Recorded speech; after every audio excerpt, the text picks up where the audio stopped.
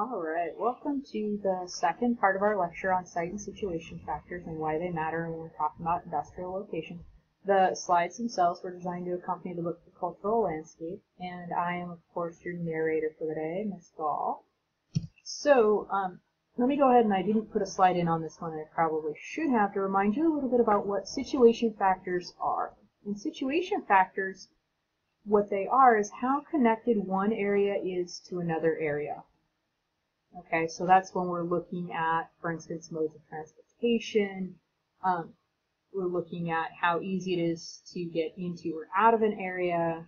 Um, and when we're talking about industrial location, really what we're talking about is how easy is it to get the resources that we need. And in particular now we're talking about natural resources for the most part.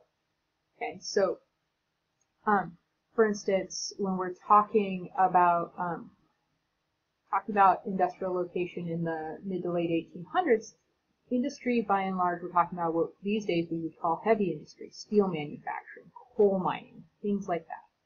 Okay, so what our goal was was to locate close to the inputs, okay, close to those raw resources. And so when you look at our um, map here, for instance, you can see we've got they call them integrated steel mills, which meant that they um, processed both the iron and the coal. And it shows um, where the iron ore deposits are, where the coal deposits are, okay.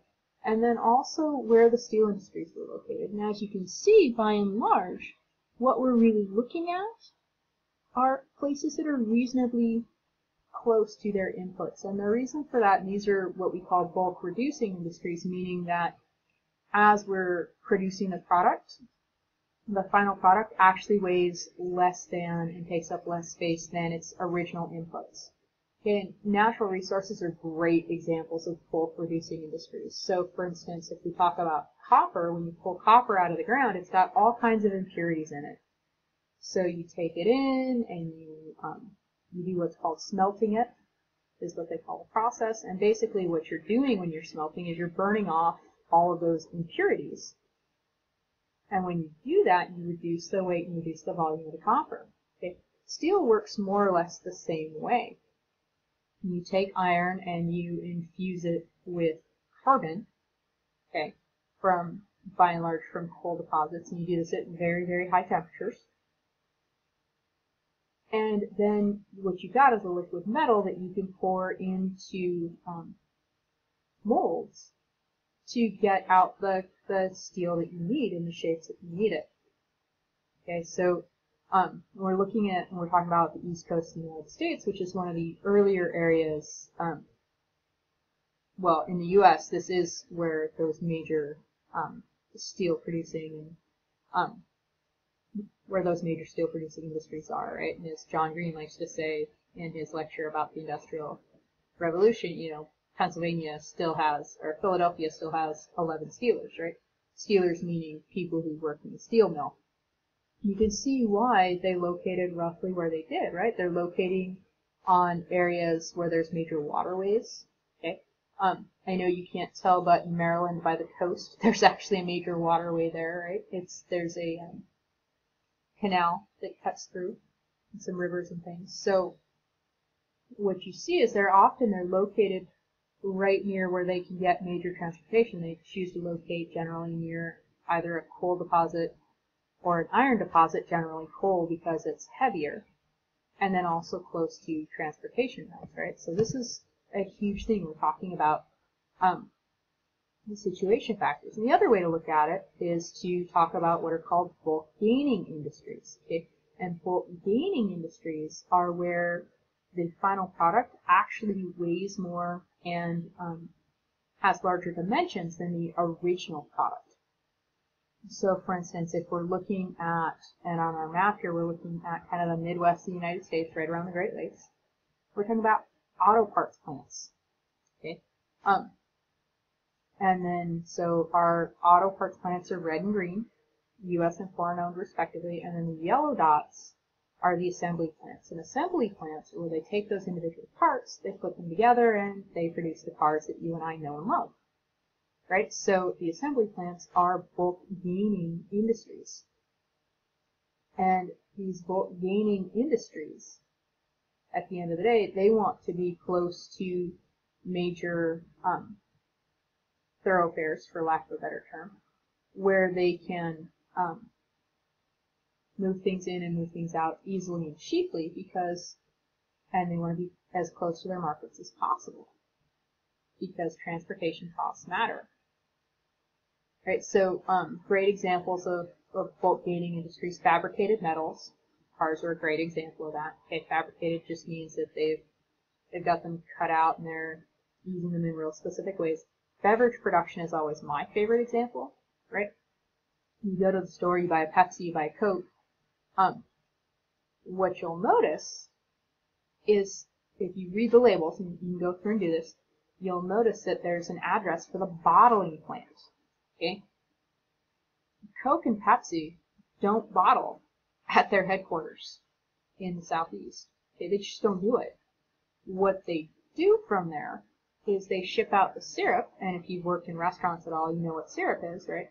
It's this big, heavy, gloppy, nasty stuff. But when you add water to it, when you add carbon dioxide to it, it turns into soda pop. Well, when you add those two things, you also add bulk, right? You add weight and you add volume.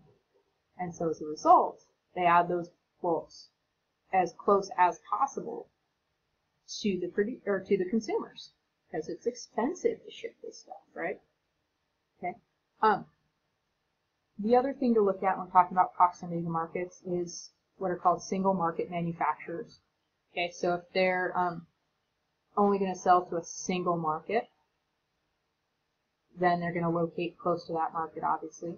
And also anything that's perishable. So if it's a food product that's going to go bad, they tend to locate closer to their market. And if they don't, they tend to be significantly more willing to pay a lot for transportation. Right? So for instance, here in the Pacific Northwest, if you watch the news, every year, what you'll see on the news is they'll talk about the first of the Copper River salmon coming down. Well, what do they do with Copper River salmon? It's a perishable product, right? Copper River's up in Alaska, it's not close to here. They ship it on an airplane. Very, very expensive, but also very, very quick. Can tell you from experience, the flight from Anchorage to Seattle takes roughly three and a half hours. Copper River's a little further north of there. Tack on roughly two days by the time you have to deal with uh, transportation issues in Alaska, which is a whole separate ball of wax. And you're getting your salmon within two to three days, which is really pretty impressive when you stop and think about the fact that Alaska is roughly 3,000 miles away. Okay, so situation matters and specifically that ability to be close to transportation hubs matter. Okay. Um, so when we're talking about situation factors, again, okay, we're talking a lot about connections.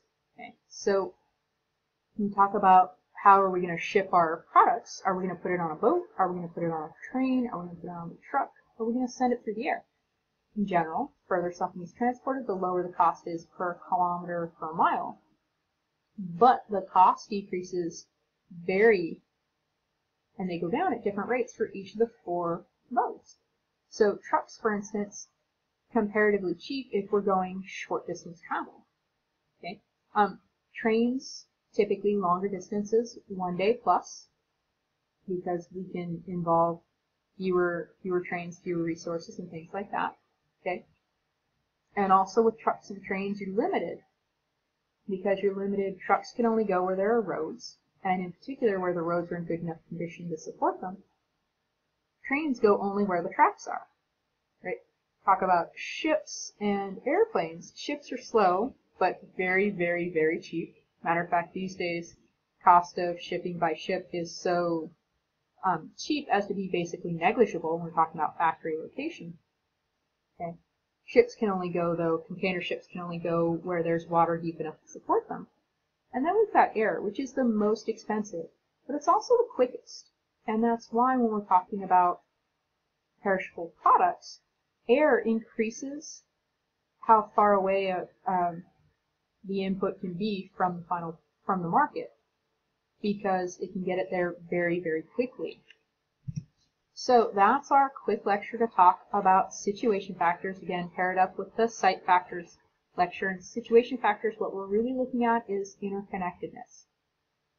So we talked about some of the different modes of transportation and how um, costs can vary and what difference that makes. And we looked at bulk gaining industries and bulk reducing industries and talked about some of the vagaries of location when we're talking about situation factors for those, right? For bulk gaining industries, you want to locate close to your market because you're adding weight, which means you're adding cost, transportation cost. For bulk reducing industries, you locate close to your you locate close to your inputs because you're going to be losing weight, which is going to make your transportation costs even cheaper. If you have any questions, by all means, please feel free to come and see me, and we'll talk about these a little bit more in class when we talk about Weber's least cost theory. Um, and I'd be delighted to answer any questions you have.